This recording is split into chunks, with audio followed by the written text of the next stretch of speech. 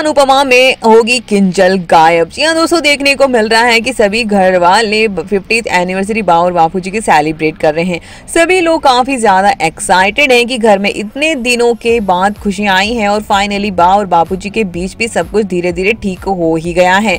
और बा और बापू जी एक दूसरे के साथ में ये काफ़ी अच्छे से एनिवर्सरी सेलिब्रेट कर रहे होंगे। घर वाले बच्चे, अनुपमा अनुष तक यहाँ पर इसमें पार्टिसिपेट करता है। लेकिन किंजल गायब नज़र आती है। दरअसल यहाँ पर देखने को मिलेगा कि काफ़ी कुछ तमाशा तोशु और किंजल के बीच में हो चुका है और किंजल यही कह देती है कि अब इस घर में रहने से कोई मतलब नहीं है। तुम्हारे साथ एक साथ रहने से अच्छा है कि हम दूर दूर ही रहें। पहले तुम यहाँ नहीं थे तो पेंटा हाउस में रहते थे, तब कम से कम घर आने के बाद तो सुकून मिलता था ना, लेकिन अब ये भी नहीं मिलता।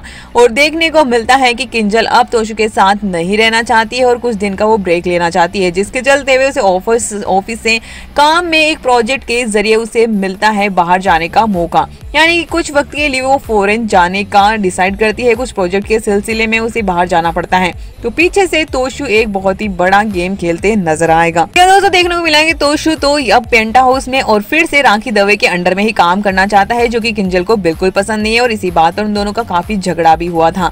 लेकिन दूसरी तरफ़ देखने को मिलता है की किंजल इस बात से काफ़ी नाराज़ होती है की तुम्हें अलग से कोई जॉब ढूंढनी चाहिए, तुम्हें मुझे पसंद नहीं है की तुम मम्मी के साथ में काम करते हो और कभी भी तुम्हारी बेइज्जती करके तुम्हें निकाल देती है। और ये बिल्कुल भी सही नहीं है, तुम इतने ज़्यादा पढ़े लिखे हो तो तुम खुद के दम पर भी तो कुछ कर सकते हो। और किंजल, इसी बात से नाराज़ होकर जब ऑफ़िस का उसे ऑफ़र मिलता है तो बिना बताए गायब हो जाती है। जिसके बाद में घर वालों को बुरी तरह से टेंशन हो जाती है, लेकिन फिर उसके बाद किंजल अनुपमा को कॉल करके बताती है कि उसे ऑफ़िस के सिलसिले में किसी बिज़नेस के लिए बाहर जाना पड़ रहा है। तो दूसरी तरफ़ यहाँ पर किंजल की दूरियाँ की वजह से ही अब तोशु किसी और लड़की के जाल में फंसते नज़र आएगा। जी हाँ दोस्तों, यहाँ पर तोशु और किंजल का रिश्ता धीरे धीरे बिगड़ रहा है।